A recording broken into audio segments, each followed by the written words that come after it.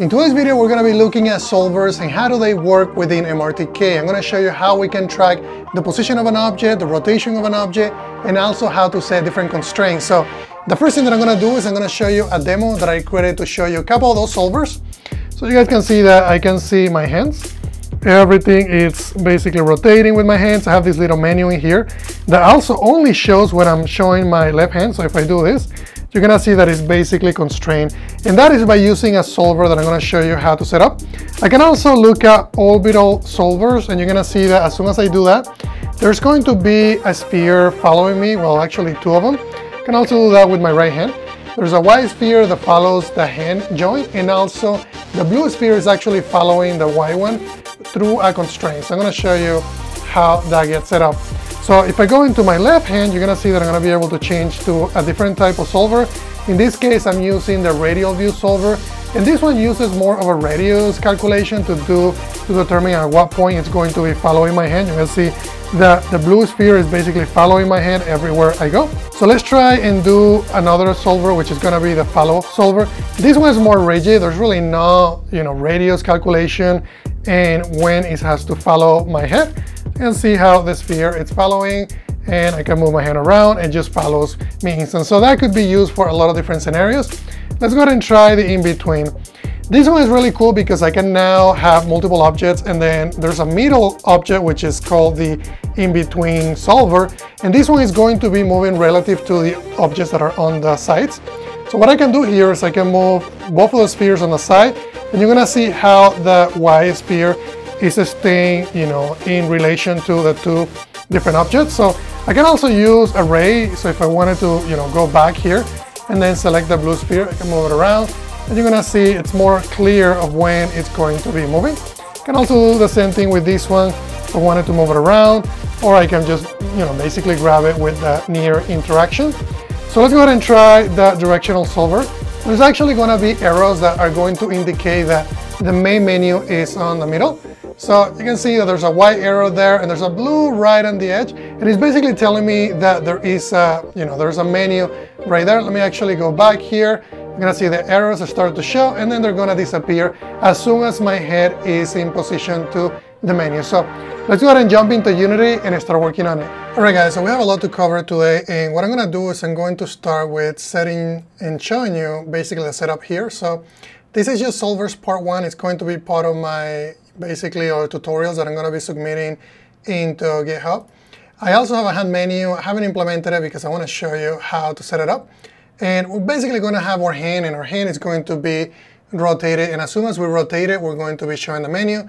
Whenever we don't see the hand, it's basically going to hide it. I also have a UI component, just basically, it's a simple window that just shows us all the different solvers that we're going to be covering. It also has a specific component, which is the object manipulator, which is going to basically allow us to move the window around. And the host of that is going to be this component. And the other things that we're going to be covering is going to be, you know, all these different solvers, which I want to set up with you. So first things first, let's go ahead and start with just dragging and dropping. I'm going to drag and drop a sphere onto the orbital.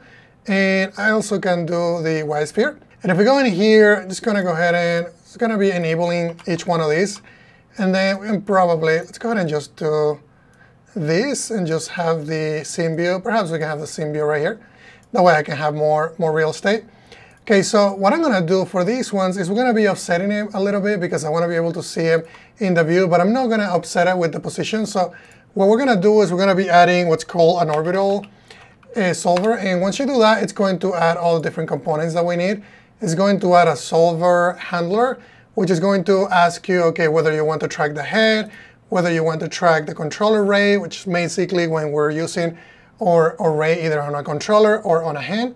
And also if you want to do a join, which I show you at the beginning of the video, or if you just basically want to do a specific, you know, a specific component, such as a game object that we're going to be selecting. In this case, I'm going to have the Y be the main object, and then the blue is going to be follow the, the Y sphere. So in order for us to do that, we're going to go ahead and go into the blue. And in, instead of just tracking my head, I think I'm just going to do the control ray. It's going to be a little bit different than what I show you at the beginning of the video, but I'm going to show you how we can change it. And then we can do, we can select whether we want to use the left hand, the right hand, or both different hands. I'm actually gonna do both. And then on the Y sphere, what we're gonna do is we're gonna do a, a, basically a custom override. And we're gonna tell the Y sphere to basically follow the blue. And I'm gonna show you how cool that is. So now what we can do is we can offset one of them. So one of them could be perhaps the Y one. We can offset it, let's do perhaps 0.25, and then I can show you how that's going to work. So if I were to hit play right now, I also have another setup, another script that is going to hide everything that you see. And the reason for that is because I want to use the hand menu to show different components by selecting the menu options. Just for now, we're just going to be just enabling each one of them. And as soon as I do that, you're to see that there's going to be you know, the blue sphere and then the white one, it's following me. Let's go ahead and change a couple of things in here. On the blue one, there, the local offset by default is, is pretty large, so we can just set it to 0, 0. And then we can also do the same thing with the Y. And perhaps on the Y, we can offset it a little bit, maybe, let's do 0.1 here on X, and perhaps we give it a little bit of depth. So, so you can basically set up a, a local offset on, the, on this component specifically. And if we hit play, you're gonna see how that changes now. If I were to show my hand, you're gonna see that it's currently not showing because I haven't enabled that object. That always gets me. you can see that it's really close to the hand, right? Because we probably need to go further away. So what I'm gonna do, in, and the cool thing that I can do that in play mode, is, is change those in play mode, right? So if I do the blue one, I think the blue one, let's go ahead and do 0.5 on the local offset. And now if I do that, you're gonna see that now it's further away from the from the hand. We can also do, grab the, the white one and perhaps we can do, let's do 0.25, so it's further away. You're gonna see that the white one is following the blue one, and that's because there's, there's a solver and a custom override on the white one that follows the blue one. So this one is going to be the orbital, it kind of looks like a planet, right? Other things that you can do here is if you wanted to, maybe the white one could be a little bit slower on you know the movement. We can probably do 0.5 on the move lerp time. Rotation, we can also increase it a little bit. You can also, if you don't want to smooth it, you can uncheck that. If you wanted to basically have this a lifetime, meaning that we only want to have the orbital for a specific amount of seconds, and then basically it's, it's, it's going to no orbit around the other object. So you can also do that if you wanted to do that. So this one looks more smooth, more like a, you know, like a planet. You also have local offset, which is what I just did, also world offset. If you wanted to change the, the angle and do a stepping, you can also do that as well. And then obviously the orientation, if you want to do maybe camera facing, you're going to see how that rotates. I can also undo that. You're going to see how that changes.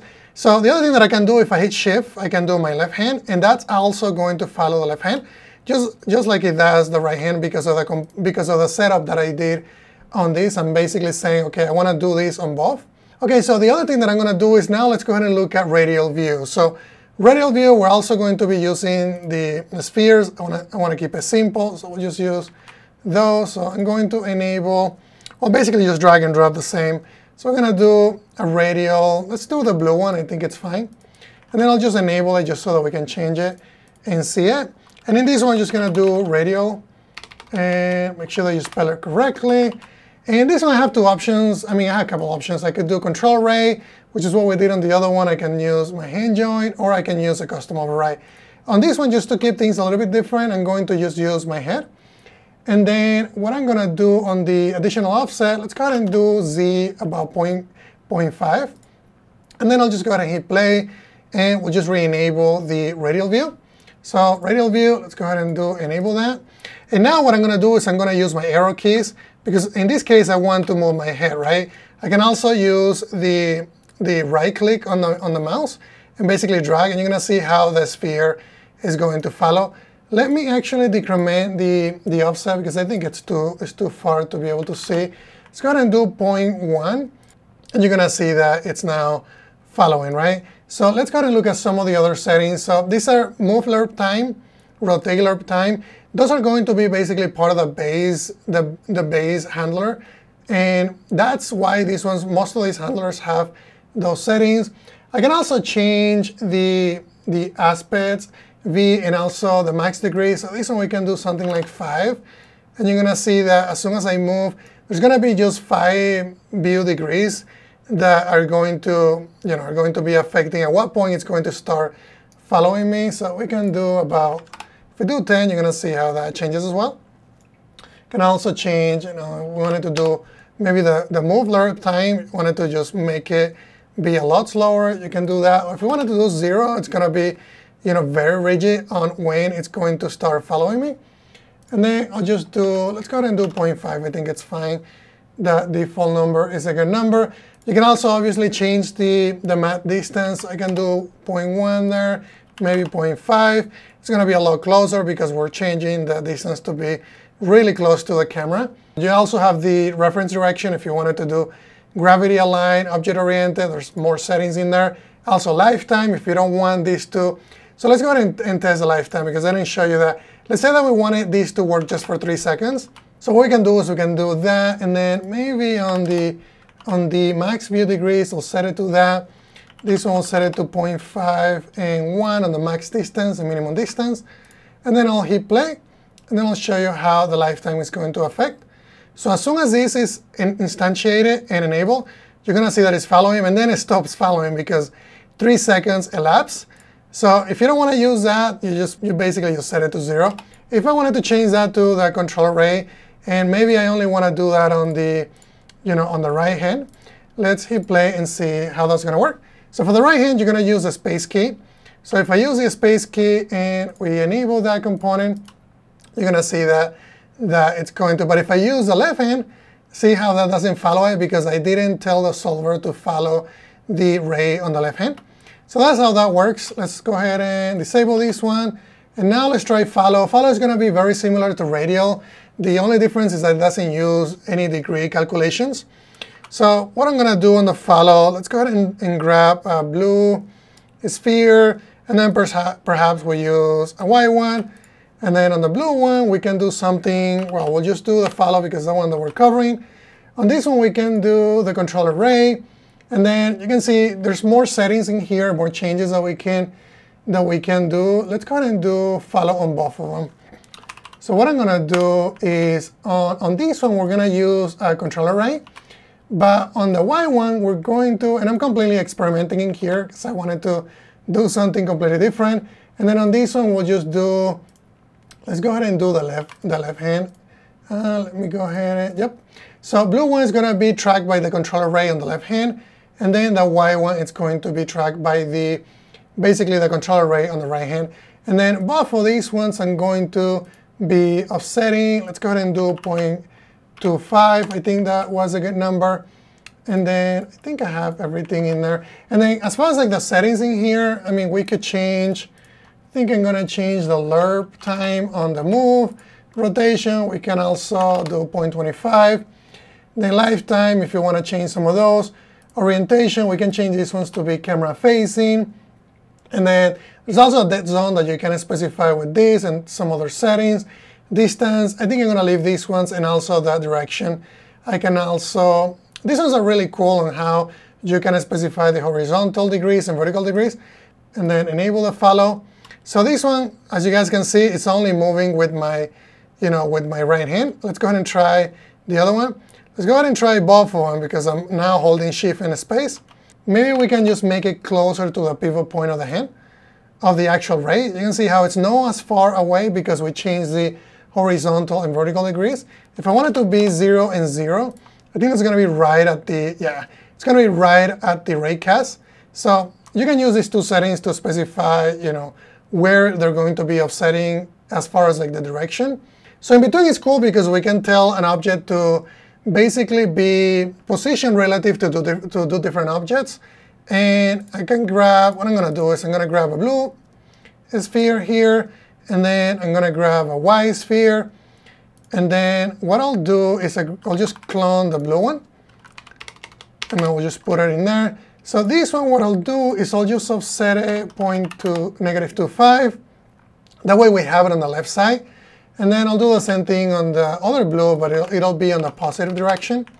So we'll keep this one, and then just to make it cooler, we can just do, let's make this, this one a little bit larger so that we know that the middle one is the one that we want to keep you know, in the center. The other thing that we need to do is these two are, you know, they're really, you can't really move them. So I'm going to introduce you to a new object. It's called the object manipulator. And I'm also going to be adding a near interaction grabbable because that's going to allow us to basically grab it with our hands if we wanted to grab it, or we can go from far and also grab it by using a raycast. The in-between component, which is the solver, that one we can just add to the component that is going to stay in the middle. And let me just type that. And then what I'm going to do here, this is going to tell me, okay, what do I want to, what it's going to be the component that we're going to be tracking. So the component that we're going to be tracking is going to be the first blue.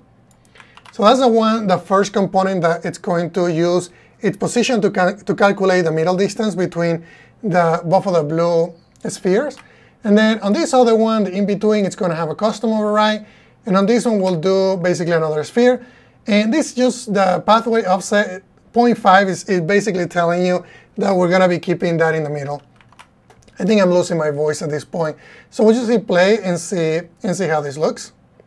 I think I need to add a couple offsets, otherwise we won't be able to see them. So let me go ahead and do that. I'm just going to do 0.25, nope, let's do 0.5, I think it's good. Let's go ahead and go back a little bit and right about there. And you guys can see how the middle one is staying in the middle, right? And then if I were to move my hand, you know, further away from the camera, you can see how that works. And then I can also do this with the with my other hand. Let's go ahead and do, in this case, I'm just going to grab it. Well, actually, it's using a raycast. And I can also go really further away from the camera, but the one on the middle is staying on the middle. So another cool thing that we can do is, let's say that on this one, we wanted to change the steps. Maybe we'll just do points about 80%, right? And the cool thing with this is now I can just, it's going to stay 70, you know, 70% closer to the left one because that's what I'm telling the, the in-between solver to do. And then let's go ahead and check the last one, which is the directional indicator. On this one, I'm going to be using a, a red arrow and then also a yellow arrow. And then what I'll do on this one is when I keep it, we can just keep it right there on the, on the pivot. But the yellow one, I think I'm going to offset about, let's do negative 0.25. And this one is really cool because we can specify, so on this one we just do directional indicator. And this one we just specify what, what is it that we want to track, right? In this case, we want to use our head, but what the directional indicators are going to do are going to tell us the direction that we need to that we need to be targeting. So in this case, I'm going to be targeting the menu. So if I were to move my head around, my head around, I'm going to have the arrows pointing to the location where I need to rotate my head to. So what I'll do here on the directional target, on the directional indicator, is we're going to be telling the system to look at the scene description panel, which is the one that I showed you at the beginning of the video. And then I think that's basically everything that I need to do there. Uh, the scale though, I think I want to, I think I don't, I want to have a larger scale. We can just do one, let's do, let's do one and two. This is going to be the maximum. The Actually, the minimum is going to be 1. The maximum is going to be 2. And then the factor, let me go ahead and undo that. OK, I'll leave the factor there. I thought I was changing a different property. And OK, let me show you how this works. I'm going to hit play. And last time what I did is I started tweaking the numbers until I got the, the right behavior. So now what I can do is, if you remember, I, I'm, I'm using my head, not my hand. So what I can do is if I go you know, if I get away from the from the menu, it's going to show the arrows and then it's going to disappear. But it but it's just weird because one of them is offset, the other one is not offset. So we can fix that. One of them it's going to be, which is going to be the yellow one. So I'm actually going to do, let's go ahead and do negative, negative 0.25 on that one. Hit play and see how that looks. And then I'll just move my head and remember, we need to enable them. And you, can, you guys can see. So what I'm going to do is, I think these are way too large. At least the, I think, I think both of them are just way too big. Let's go ahead and do, we can do 0.5 here and then about a 1. Okay, so remember that. And then on the, on the yellow one, we could probably do, because I don't want him to, I don't want him to overlap, so we'll just do negative Okay, so we'll just do 0.5, 1, and then negative 0.5. So we'll just go ahead and go back here. It's going to be that. And then we'll just do 0.25 and 1. And then, but you guys get the idea of how those arrows work. the directional indicator is pointing to the, to the menu. And you guys can see it just goes away. One cool thing that we can also do, if I wanted to get closer and not disappear, there's also other options in here that you can, you can tweak. So the larger this number, the view offset is, the, the closer that it's going to allow us to, go, to get to. So I'm going to do, can do point, I think 0.5 works. In that area, we can do 0.3 here. Okay, so 0.3 and 0.5. So we'll just do 0.3 here and then 0.5 on the view offset. And I think I'm going to call it, I'm going to call that one good. I'm going to hit play.